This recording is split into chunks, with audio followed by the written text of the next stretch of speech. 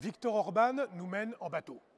C'est le triste constat que je tire de la réunion des ministres de l'économie et des finances qui s'est tenue le mardi 6 décembre.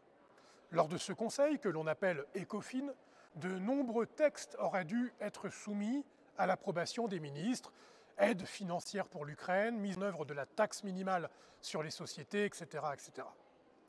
Ces décisions cruciales pour le continent ont dû être repoussées pour une seule raison, la règle de l'unanimité. Ces textes, pour être approuvés, nécessitent en effet que tous les États soient unanimement d'accord. Un seul pays s'y oppose et tout s'écroule. Par un simple veto, la Hongrie fait tout simplement peser un chantage odieux sur l'Union et tous nos concitoyennes et tous nos concitoyens. Il est inacceptable que l'Union européenne soit aussi démunie devant un dirigeant qui s'applique à mettre à mal toutes les libertés fondamentales en Hongrie. Poursuite des opposants, mise sous tutelle de la justice, attaque contre la liberté de la presse. Tout ceci arrive aujourd'hui, en 2022, dans un État membre de l'Union européenne.